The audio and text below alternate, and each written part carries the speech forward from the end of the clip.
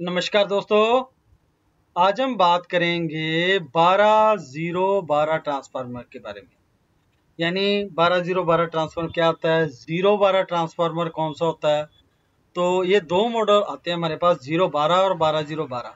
तो काफ़ी मेरे भाई ऐसे हैं जिनको थोड़ा सा कन्फ्यूज़न रहती है कि बारह ज़ीरो बारह और बारह जो ज़ीरो बारह में अंतर क्या है थोड़ा सा क्योंकि आउटपुट के रूम में दोनों ही ट्रांसफार्मर 12 वोल्ट पास आउट करते हैं। लेकिन एम्पेयर के मामले में ये 500 मिली एम्पेयर से लेकर और 5 एम्पेयर तक के ये ट्रांसफार्मर हमें मार्केट के अंदर मिलते हैं। तो इसी टॉपिक के लिए मुझे कमेंट आया था, हमारे एक सब्सक्राइबर हैं राकेश कुमार जी। तो राकेश कुमार जी, इन्होंने लिखा है कि इनके पास जो सेटअप बॉक्स है उसके अंदर उनको थोड़ा सा डाउट है कि जो सेटअप बॉक्स होता है, अगर मैं नेगेटिव 12 वोल्ट अगर लेना चाहता हूँ तो उसमें से किस जगह से मुझे नेगेटिव 12 वोल्ट मिलेंगे? क्योंकि जो मैंने ये टॉपिक कराया था जे आर सी पैंतालीस अठावन जो आईसी है, उसको ऑपरेटिंग के लिए माइनस और प्लस यानी माइनस बारह वोल्ट और प्लस बारह वोल्ट की सप्लाई देकर आप उसे ऑपरेट करवा सकते हैं। लेकिन इनका जो क्वेश्चन है कि डीडीएच में जो कार्ड लगा होता है उसके अंदर जो मुझे बारह वोल्ट की सप्लाई किस जगह से प्राप्त होगी? तो 12 वोल्ट की सप्लाई कहाँ पे मुझे मिलेगी? सर्किट के अंदर नेगेटिव जो 12 वोल्ट होते हैं पॉजिटिव 12 वोल्ट तो सिंपली आपको मिल जाता है, लेकिन नेगेटिव 12 वोल्ट उस सर्किट के अंदर कहाँ पे मिलेगा? तो केस जी, जो आज का बेसिकली हमारा टॉपिक है कि जो नेगेटिव 12 वोल्ट और पॉजिटिव 12 वोल्ट ट्रांसफार्मर से कैसे बनाए जाते हैं, किस तरह वो पास आउट होते हैं और किस ट्रांसफार्मर के अंदर होंगे ये नेगेटिव 12 वोल्ट और पॉजिटिव 12 वोल्ट। तो आज का जो हमारा टॉपिक है ट्रांसफार्मर के अंदर जो नेगेटिव 12 वोल्ट और पॉजिटिव 12 वोल्ट हम किस तरह बना सकते हैं और ज़ीरो बारह और बारह ज़ीरो बारह में क्या अंतर है, उसके बारे में डिस्कस करेंगे।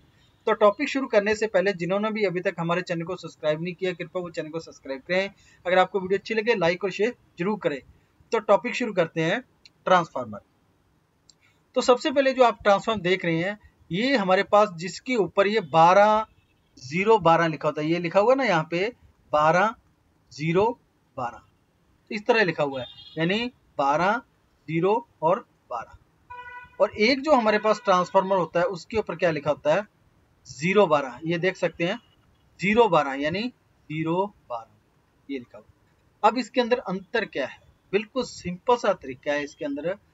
ये देख सकते हैं कि जो हमारी सेकेंडरी वाइंडिंग होती है, ये हमारी जिस साइड ये तीन वायर लगी है, ये सेकेंडरी जिसकी, जिस तरफ़ रेड वायर लगी होती है ना, दोनों एक जैसी, वो होती है मेन इनपुट के लिए, यानी एसी के लिए। यहाँ से हम एसी इनपुट देंगे। तो यहाँ से जो रेड वायर लगी होती है, उसके ऊपर जाएगी एसी सप्लाई और जिस जगह पे ये ट्रांसफार्मर हमारा, इस जगह की जो तीन पिन है, इसके ऊपर लिखा था बारह ज़ीरो बारह। तो मीन्स अब क्या है कि जो ये दो येलो वायर है यहाँ पे, ये येलो है, एक येलो है, और सेंटर के अंदर अदर कलर लगाया जाता है। कई जगह पर ब्लैक कलर भी लगा देते हैं, या ये इन्होंने ब्लू कलर लगाया सेंटर के अंदर, ये देख सकते हैं यहाँ पे सेंटर के अंदर। और एक ये, और एक ये, दो इसके अंदर येलो वायर है। तो ये जो ट्रांसफार्मर हमारा, इस जो येलो वायर से है, यहाँ से 12 वोल्ट निकालेगा इस येलो तार से, और जो सेंटर के अंदर जो है वायर वहाँ पे ज़ीरो वोल्ट होगा, और अगली जो येलो वायर है, वहाँ पे 12 वोल्ट होगा।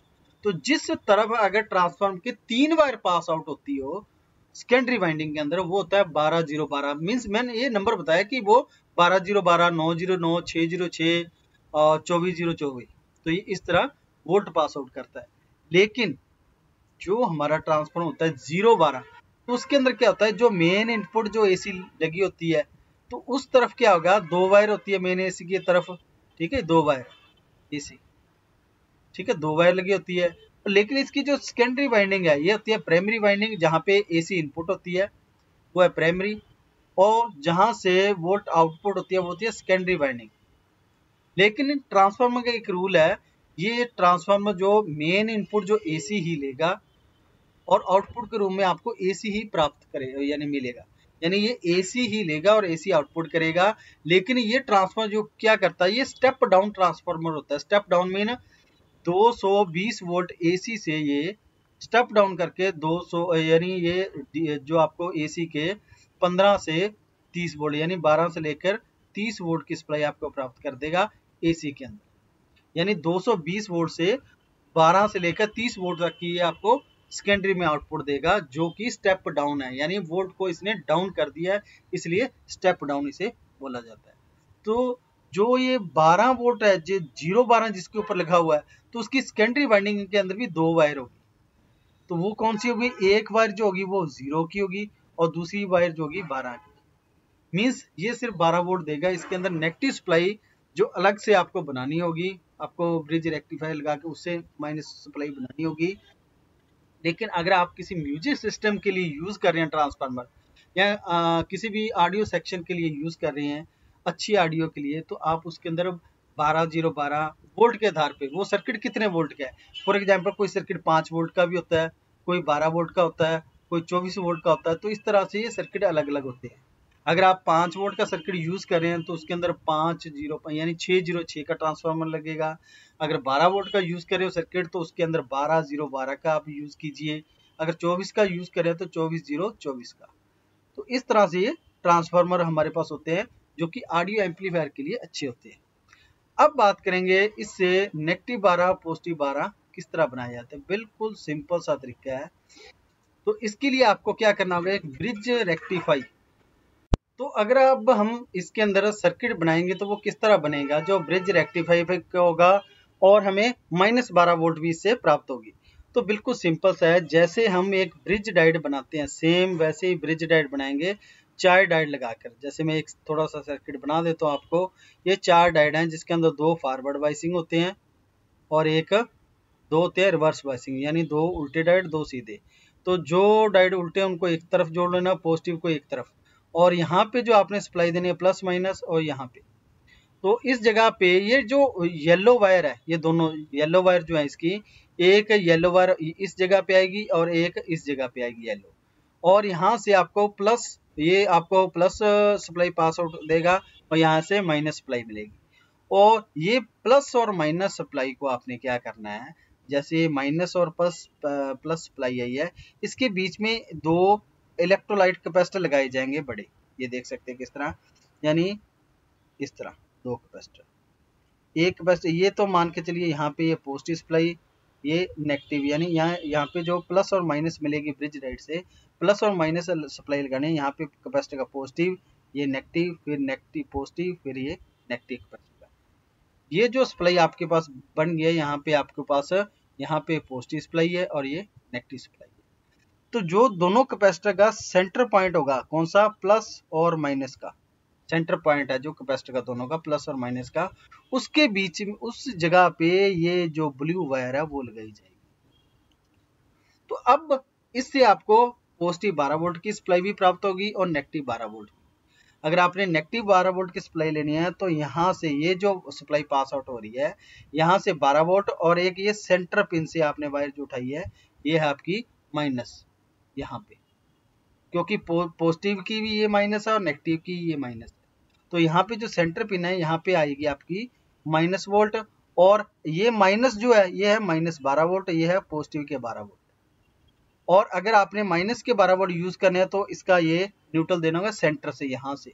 ये सेंटर पिन आपको यूज़ करनी होगी ब्लू वायर है अगर प्लस यूज़ कर रहे हैं तो फिर यहीं से नेगेटिव और ये प्लस यूज़ करेंगे। इस तरह से आपके, अगर आपके सर्किट के अंदर तीन वायर जो आउटपुट ट्रांसफार्म की निकलती है, वो बारह ज़ीरो बारह का है। उससे आप नेगेटिव बारह वोल्ट और पॉजिटिव बारह वोल्ट की सप्लाई बना सकते हैं। लेकिन अगर ट्रांसफार्मर आपका दो सप्लाई इनपुट और दो सप्लाई आउटपुट के लिए यूज़ में लिया गया मतलब दो वायर इनपुट के रूप में इसमें काम ली जाती है और दो ही वायर जो इसकी आउटपुट देती है तो वो होगा ज़ीरो बारह।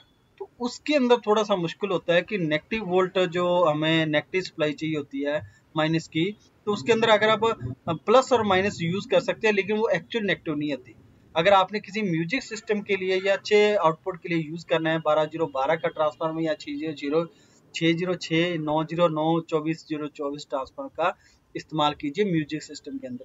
तो आपने बहुत से ऐसे सर्किट देखे होंगे जो बड़े म्यूज़िक सिस्टम होते हैं जिसके साथ बेस लगाई जाती है।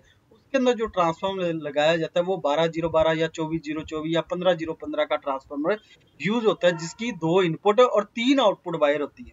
तो उन तीन आउटपुट वायर से हम प्लस और माइनस सप्लाई बनाते हैं, जिससे माइनस जैसे पंद्रह वोल्ट है और प्लस के पंद्रह वोल्ट है। और सेंटर में से जो सेंटर वायर है, यहाँ से उठाते हैं हम नेगेटिव वोल्ट सर्किट के लिए। तभी हम कहते हैं उसको प्लस और माइनस वोल्ट जो कि एक सर्किट के लिए ज़रूरी है। तो ये बिल्कुल सिंपल सा एक फंडा है।